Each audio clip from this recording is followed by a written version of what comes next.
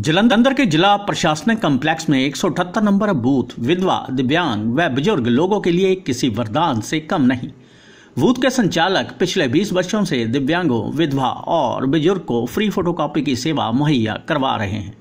आइए आपको मिलाते हैं ये काम करने वाले एसपी सिंह हंस से। 20 वर्ष पहले माँ की विधवा पेंशन लगवाने के लिए पाँच चक्कर काटे। हर बार फॉर्म व दस्तावेज़, फ़ोटो कॉपी करा कर ले जाते रहे। पेंशन तो नहीं लगी, लेकिन पेंशन के इच्छुक लोगों का दर्द अच्छे से समझ आ गया। ये कहना है चुगिट्टी के रहने वाले एसपी सिंह हंस का।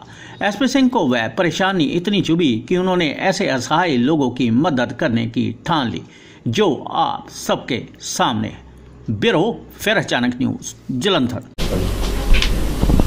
ਐਸਪੀ ਜੀ ਸਭ ਤੋਂ ਪਹਿਲਾ ਸਵਾਲ ਇਹ ਹੈ ਕਿ ਹਾਂਜੀ, ਅੱਜ ਕੱਲ ਲੋਕ ਫ੍ਰੀ ਦੇ ਵਿੱਚ ਤੇ ਕੁਝ ਨਹੀਂ ਛੱਡਦੇ। ਤੁਸੀਂ ਫ੍ਰੀ ਦੇ ਵਿੱਚ ਸੇਵਾ ਲਾਈ ਹੋਈ ਉਹ ਤਾਂ ਵਾਹਿਗੁਰੂ ਦਾ ਹੁਕਮ ਆ ਜੀ ਉਹਦੇ ਹੁਕਮ ਦੇ ਨਾਲ ਚੱਲੀ ਜਾਂਦੇ ਆਪਾਂ।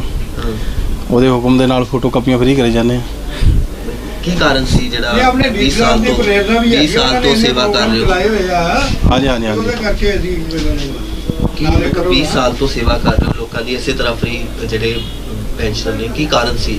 ਇਦਾਂ ਨੂੰ ਧਿਆਨ ਹੋਇਆ ਨਹੀਂ, ਕਾਰਨ ਤਾਂ ਦੇਖੋ ਜੀ ਆਪਣੇ ਸਾਡੀ ਮਦਰ ਦੀ ਪੈਨਸ਼ਨ ਨਹੀਂ ਲੱਗੀ ਸੀ। ਮਦਰ ਦੀ ਮੈਂ ਦੋ ਤਿੰਨ ਵਾਰੀ ਚਾਰ ਵਾਰੀ ਛੇ ਵਾਰੀ ਜਾ ਕੇ ਫਾਰਮ ਭਰੇ ਕੇ ਦਿੱਤੇ। ਉਹਨਾਂ ਦੀ ਪੈਨਸ਼ਨ ਨਹੀਂ ਕੋਈ ਲੱਗੀ। ਉਹਦੇ ਚੱਕਰ ਦੇ ਵਿੱਚ ਵੀ ਯਾਨੀ ਬੜੀ ਭਾਜ ਦੌੜ ਕਰਕੇ ਨਹੀਂ ਪੈਨਸ਼ਨ ਲੱਗਣੀ।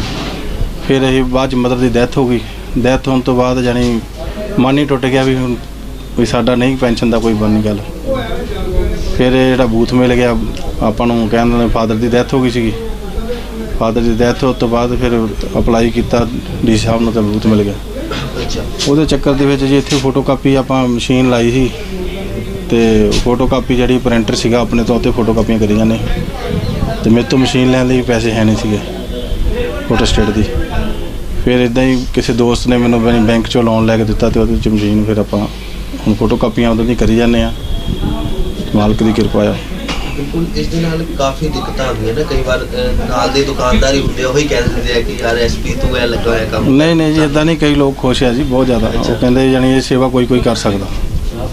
ਬਿਲਕੁਲ ਤੁਹਾਡੇ ਕੋਲ ਅਲੱਗ-ਅਲੱਗ ਲੋਕ ਆਉਂਦੇ ਨੇ ਰੋਜ਼ ਹਾਂਜੀ, ਹਾਂਜੀ। ਆਉਂਦੇ ਆ। ਉਹ ਦੱਸਦੇ ਨੇ ਕਿ ਕਿੱਦਾਂ ਦੀਆਂ ਸਰਕਾਰੀ ਦਫ਼ਤਰ ਦੇ ਵਿੱਚ ਸਮੱਸਿਆਵਾਂ ਆਉਂਦੀਆਂ ਬਹੁਤ ਜਣੇ ਦਿੱਕਤਾਂ ਆਉਂਦੀਆਂ। ਕੋਈ ਬੰਦਾ ਕਹਿੰਦਾ ਭਾਈ ਮੈਂ ਫੋਟੋ ਕਾਪੀਆਂ ਕੋਈ ਭੁੱਲ ਗਿਆ ਆ। ਵੀ ਮੈਂ ਫੋਟੋ ਕਾਪੀਆਂ ਦੇਣਾ ਆ ਦਫ਼ਤਰ ਅੱਗੇ ਮੈਂ ਜਮ੍ਹਾਂ ਵੀ ਕਰਾ ਗਿਆ ਸੀਗਾ, ਫਿਰ ਦੁਬਾਰਾ ਉਹ ਕਹਿੰਦੇ ਵੀ ਜਾਨੀ ਜਮ੍ਹਾਂ ਕਰਾਓ ਜੀ ਫੋਟੋ ਕਾਪੀ ਤੇ ਸਰਕਾਰ, ਮੈਂ ਇਹ ਕਹਿੰਦਾ ਵੀ ਜਾਨੀ ਵੀ ਕਹਿਣ ਦਾ ਮਤਲਬ ਪੈਨਸ਼ਨਾਂ ਦਾ ਜਾਨੀ ਬਹੁਤ ਔਖਾ ਕੰਮ ਹੋਇਆ ਪਿਆ। ਵੀ ਜਿੰਨੇ ਵੀ ਲੋਕ ਆਉਂਦੇ ਬਜ਼ੁਰਗ ਆਉਂਦੇ ਅਸੀਂ ਤਾਂ ਫੋਟੋ ਕਾਪੀਆਂ ਫ੍ਰੀ ਕਰੀ ਜਾਂਦੇ, ਚਲੋ ਜਿਹੜੀ ਮਰਜ਼ੀ ਕੋਈ ਸਰਕਾਰ ਆਵੇ, ਪਤਾ ਨਹੀਂ ਉਹ ਪੈਨਸ਼ਨਾਂ ਜਿਹੜੀਆਂ ਲੱਗੀਆਂ ਜਾਂ ਨਹੀਂ ਲੱਗੀਆਂ, ਪਰ ਆਪਾਂ ਆਪਣਾ ਮਨ ਸੋਚ ਕੇ ਆਪਾਂ ਫ੍ਰੀ ਸੇਵਾ ਕਰੀ ਜਾਂਦੇ, ਚਲੋ ਆਪਾਂ ਤਾਂ ਸੇਵਾ ਕਰੀਏ। ਵੀ ਜਨੇ ਤੁਹਾਡੇ ਕੋਲ ਲੋਕ ਰੋਜ਼ ਆਉਂਦੇ ਨੇ ਤੁਸੀਂ ਸਰਕਾਰੀ ਮਤਲਬ ਇੱਕ ਅਦਾਰੇ ਦੇ ਅੰਦਰ ਹੀ ਚਲਾ ਰਹੇ ਹੋ। ਹਾਂਜੀ, ਹਾਂਜੀ। ਕੀ ਦੇਖ ਰਹੇ ਹੋ ਕਿ 20 ਸਾਲ ਪਹਿਲਾਂ ਜੋ ਤੁਹਾਨੂੰ ਸਮੱਸਿਆਵਾਂ ਜਾਂ ਸਮੱਸਿਆਵਾਂ ਹੁੰਦਾ ਹੀ ਨੇ ਕਿ ਕੁਝ ਫ਼ਰਕ ਪਿਆ? ਨਹੀਂ ਕੁਛ ਤਾਂ ਆਨਲਾਈਨ ਦੇ ਨਾਲ ਥੋੜਾ ਜਿਹਾ ਫ਼ਰਕ ਪਿਆ ਵੀ ਜਣੀ ਥੋੜਾ ਜਿਹਾ ਪਰੇਸ਼ਾਨੀ ਘੱਟ ਹੁੰਦੀ ਹੈ ਵੀ ਜਣੀ ਥੋੜਾ ਉਹ ਜਦੋਂ ਜਾ ਕੇ ਚੈੱਕ ਕਰਦੇ ਕੰਪਿਊਟਰ 'ਚ ਪਤਾ ਲੱਗ ਜਾਂਦਾ ਵੀ ਪੈਨਸ਼ਨ ਜਿਹੜੀ ਆ ਕਿਉਂ ਰੁਕੀ ਆ ਕਿਉਂ ਨਹੀਂ ਰੁਕੀ। ਇਹ ਤਾਂ ਪੈਨਸ਼ਨ ਵਾਲਿਆਂ ਨੂੰ ਜ਼ਿਆਦਾ ਪਤਾ ਆ ਵੀ ਜਣੀ ਕਹਿਣ ਦਾ ਮਤਲਬ। ਜੇ ਮੈਂ ਤਾਂ ਆਮ ਪਬਲਿਕ ਜਿਹੜੀ ਫੋਟੋ ਕਾਪੀ ਕਰਾਉਣ ਆਉਂਦੀ ਉਹ ਦੱਸਦੇ ਮੈਂ ਤਾਂ ਉਹ ਦੱਸ ਰਿਹਾ। ਹਾਂ ਉਹੀ ਵੀ ਜਿਹੜੇ ਬਜ਼ੁਰਗ ਲੋਕ ਆਉਂਦੇ ਆ ਉਹ ਕਹਿੰਦੇ ਵੀ ਜਾਨੀ ਅੱਗੇ ਨਾਲੋਂ ਸੁਵਿਧਾ ਹੈਗੀ ਆ ਵੀ ਜਾਨੀ ਕਹਿਣ ਦਾ ਮਤਲਬ ਥੋੜਾ ਇਹ ਆ ਵੀ ਜਾਨੀ ਫੋਟੋ ਕਾਪੀਆਂ ਦੇਣੇ ਪੈਂਦੀਆਂ ਉਹ ਦੇਣੇ ਪੈਂਦੀਆਂ ਜਾਨੀ ਪ੍ਰੋਬਲਮ ਥੋੜੀ ਹੈਗੀ ਆ। ਕਈ ਲੋਕ ਪਰੇਸ਼ਾਨ ਆ ਕਈ ਲੋਕ ਪਤਾ ਨਹੀਂ ਕੋਈ ਕਹਿੰਦਾ ਮੇਰੀ 3 ਮਹੀਨੇ ਆਈ ਪੈਨਸ਼ਨ ਬੰਦ ਹੋ ਗਈ। ਕੋਈ ਕਹਿ ਰਿਹਾ ਮੈਨੂੰ ਹਜੇ ਤੱਕ ਆ ਰਹੀ ਆ। ਵੀ ਪਹਿਲਾਂ ਮੇਰੀ ਘੱਟ ਸੀਗੀ ਪੈਨਸ਼ਨ ਹੁਣ ਥੋੜੀ ਵੱਧ ਗਈ ਆ। ਇਦਾਂ ਜਾਨੀ ਮਿਕਸ ਹੀ ਲੋਕ ਆਉਂਦੇ ਸਾਰੇ ਹਰ ਤਰ੍ਹਾਂ ਦੇ।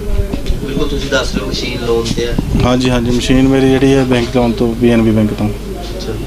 ਇਸ ਦੇ ਨਾਲ ਹੀ ਐਸਪੀ ਸਿੰਘ ਜੀ ਲੋਕਾਂ ਨੂੰ ਕੁਝ ਕਰੋਗੇ ਕਿ ਲੋਕ ਜਿਹੜੇ ਇਦਾਂ ਦੇ ਲੋਕ ਹੁੰਦੇ ਨੇ ਜਿਹੜੇ ਵਿਧਵਾ ਔਰਤਾਂ ਵਾ ਹੁੰਦੇ ਨੇ ਦਿਵਿਆਂਗ ਲੋਕ ਹੁੰਦੇ ਨੇ ਇਹਨਾਂ ਦੀ ਜਿਹੜੀ ਮਦਦ ਲਈ ਜਿੱਦਾਂ ਤੁਸੀਂ ਕਾਰਜ ਕਰ ਰਹੇ ਹੋ ਉਹਨਾਂ ਨੂੰ ਵੀ ਕਰਨ ਦੀ ਲੋੜ ਹੈ?